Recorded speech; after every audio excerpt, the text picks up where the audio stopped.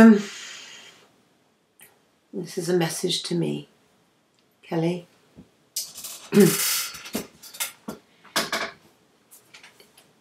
You're in danger of going back to square one, and you have to apply everything that you know to yourself, and that means smiling, getting on with stuff, and getting on with your life, and not thinking that you're asking too much when you're just asking for normal stuff and to be respected, loved, and and thought about, and and somebody to make effort for you.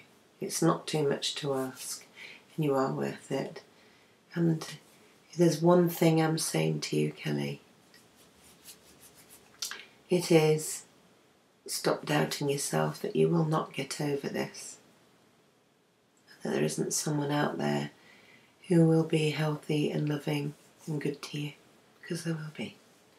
And everything is as it should be, and everything will come right. And just keep believing that as you tell everyone else.